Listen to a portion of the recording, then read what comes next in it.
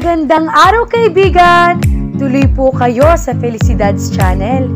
Sa mga kwento ng buhay at pag-ibig na hinalukay sa natatagong baul ni Felicidad.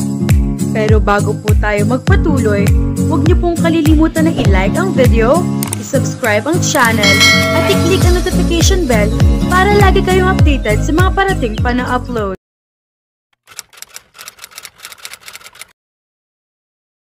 Lunchtime nang magsadya sa studio si Reynold.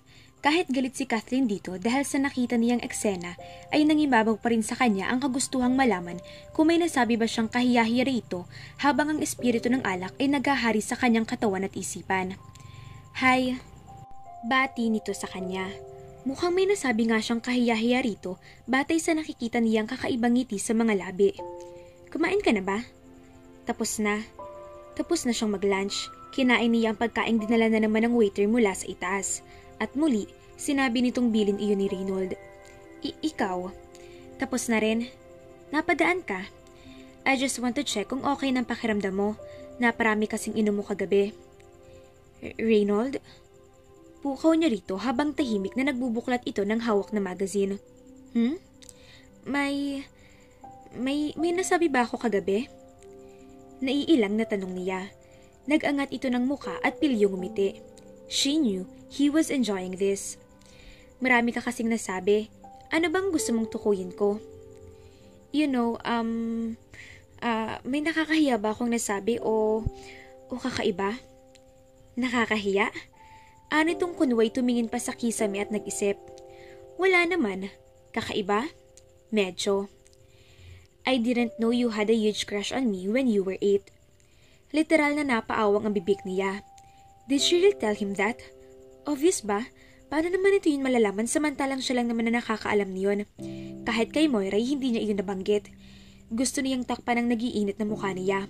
Walang dudang pulang-pula na siya. And thank you for telling me that you're the right woman for me. Oh my God! Kathleen, buksan mo ito. Dinig niyang sabi ni Reynold mula sa labas. Baby, let's talk. I didn't mean to embarrass you. I'm just happy to... Please, go away. Mariing pakiusap niya. Hindi talaga siya lalabas hanggang naroon ito. Okay, okay. I'll go. For now. But we have to talk, Kathleen. Count on it. Saka pa lamang nabawasan ang bilis ng tibok ng puso niya nang masigurong umalis na nga ito. Lumipas ang isang linggo, naisip ni Reynold na sapat ng space iyon na ibinigay niya kay Kathleen. Panahon na para mag-usap sila. Bago siya magtungo sa studio ng dalaga ay idinayal muna niya ang numero ng ninang Marilyn niya. Ano tita? Talagang tuloy na to ha? You'll get Kathleen's studio for the wedding for of Glenda. I assure you tita, the service is really good. Oo na iho, kung hindi ka tumawag ay dapat kausap ko na si Kathleen para kunin ang serbisyo niya. Sabi ko nga tita eh, ibabababa ko ng phone. Bye and thanks. Dumaan muna siya sa isang flower shop bago puntahan si Kathleen. Hindi na nagdalawang isip na sinalubong ni Kathleen ang yakap si Reynold, pagbungad na pagbungad pa lamang nito sa opisina niya dahil sa sobrang excitement. Matunog na binigyan pa niya ito ng smack sa mga labi. Wow! Hissy baby. Baka bumagsak tayo sa sahig.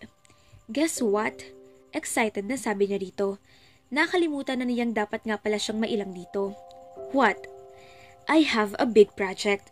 Kapag naging successful ito, magsisimula ng kunin ng iba pang kilalang tao sa lugar natin ang serbisyo ng studio ko dahil alam mo ba kung sinong kliyente ko?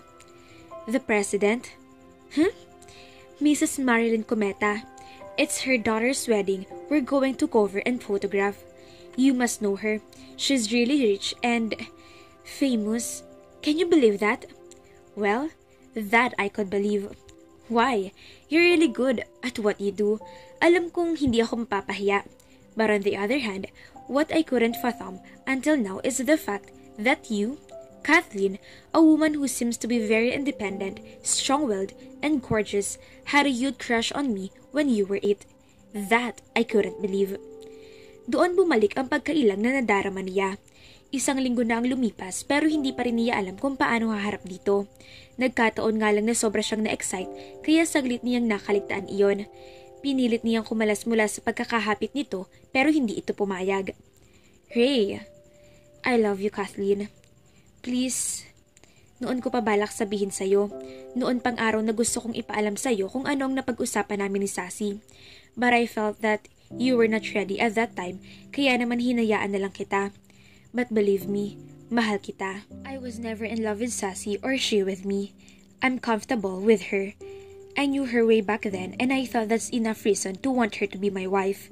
I wouldn't have realized na hindi tama ang mga batayan ko sa pagpili ng mamahalin until you came back into my life until you introduced me to different kind of feelings. Damdamin na kailanman ay hindi ko nararamdaman kay Sassy.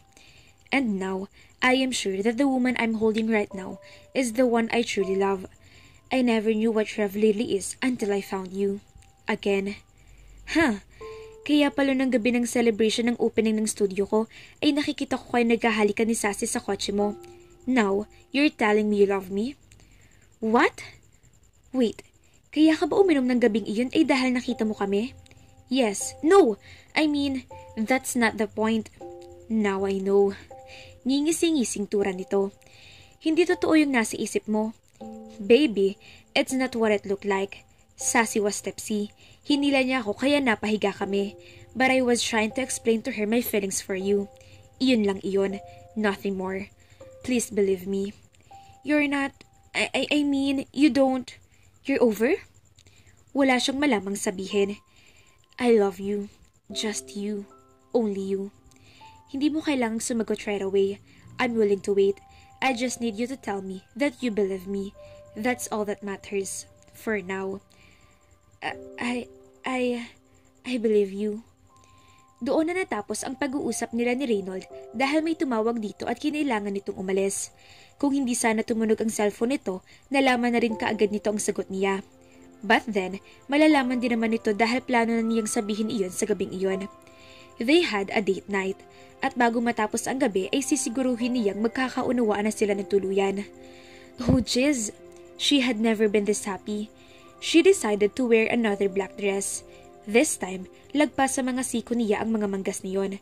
Lagpas tuhod naman niya ang haba niyon at may ruffle sa V-line nito. Lagpas ng 30 minutes sa takdang usapan nila kaya naman lumabas na siya sa terrace at doon na lamang hinintay ang pagdating ng binata. Isang oras pa na paghihintay ang lumipas. Nakaramdam na siya ng pagkainip. Nagpa siya siyang umakyat na muli sa kanyang silid.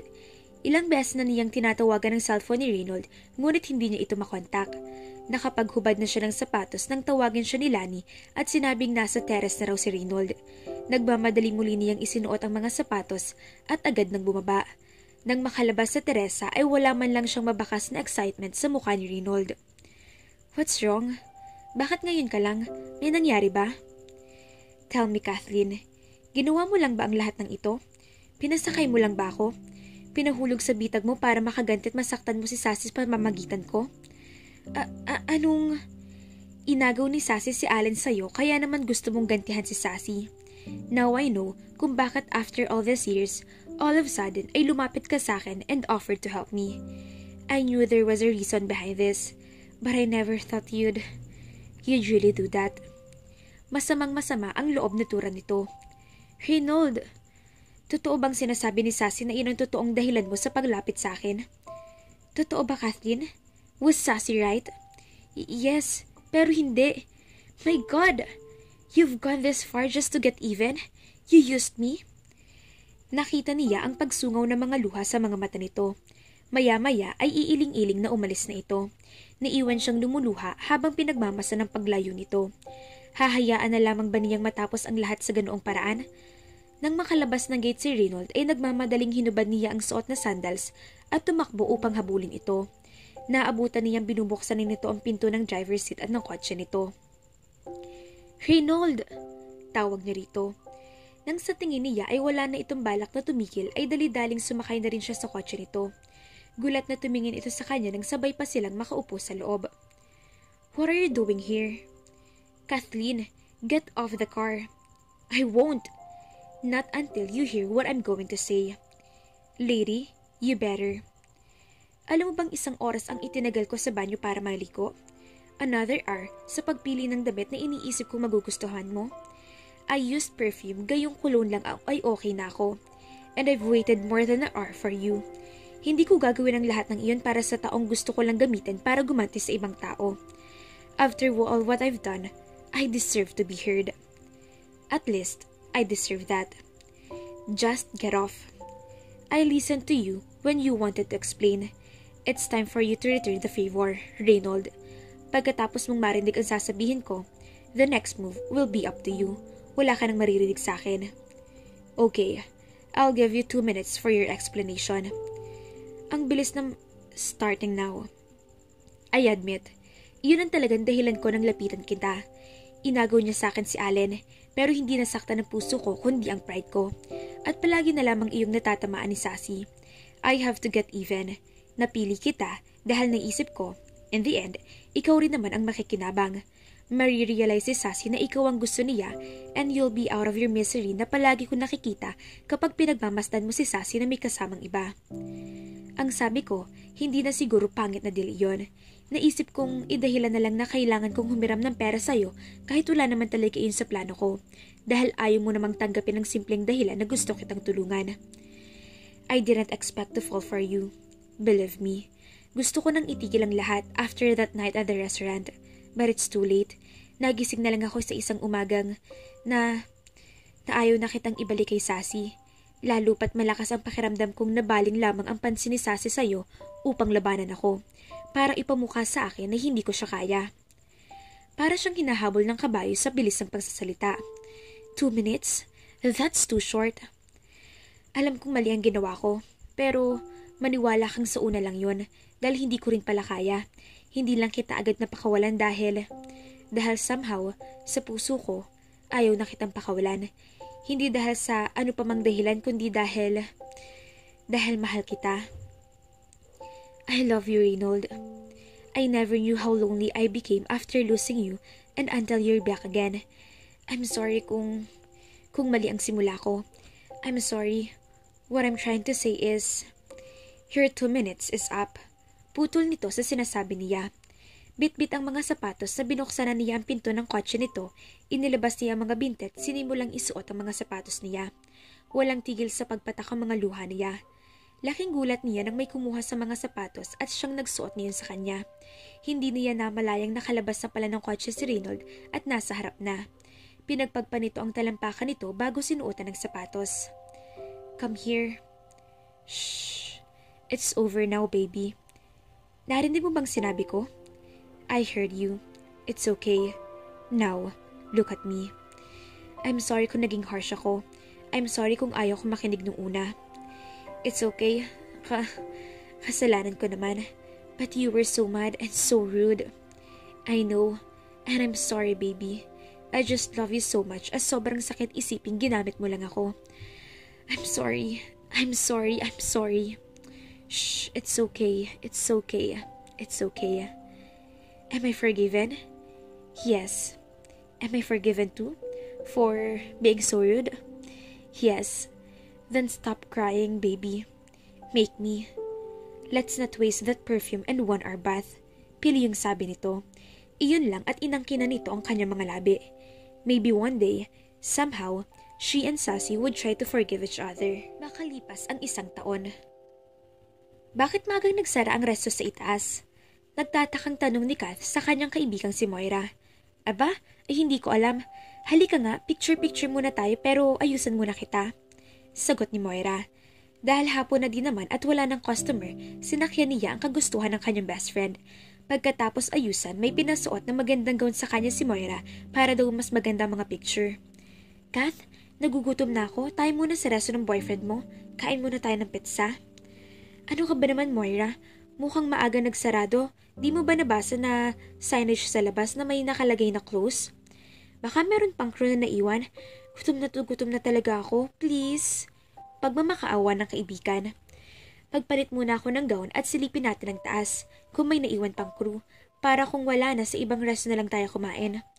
Wag na, Kath. Mabilis lang naman tayo if walang tao. Pa-deliver na lang tayo dito sa studio tapos ituloy natin pagpipicture nating dalawa.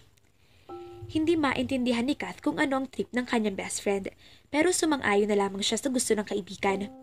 Pagkapanhik sa restaurant ni Reynold ay biglang nagulat si Kath dahil bumukas ang ilaw sa kabuuan ng restaurant. Andoon lahat ng mga taong malalapit sa kanya, ang kanyang mga magulang at ang mga magulang ni Reynold at ni Sassy. at maging si Sassy mismo na dahan-dahang lumapit sa kanya. Kath, sorry sa lahat.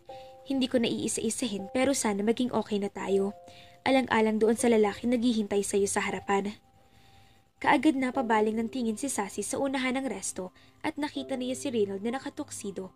Halos hindi siya makahinga sa kagupuhan ng kanyang kasintahan. Inihatid ni Sassy si Kath patungo kay Reynold.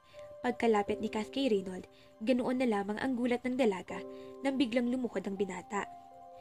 Kathleen lumanglas, Will you marry me? Madaming-daming sabi ni Reynold. Yes, yes, yes, I will marry you. Pumapatak ang luhang sagot ni Kathleen. Biglang nagpalakpakan ng mga tao na nakapalikid sa kanila. Magkalipas ang ilang buwan nagpakasal sina Kathleen at Reynold at masasabi kong tunay na ang pagiging magkaibigan ni Kathleen at Sassy. Muli po mga kafelisidad, maraming maraming salamat sa pagtangkilik ninyo sa aming channel. Sana po ay napasaya namin kayo. Ingat po at God bless sa ating lahat.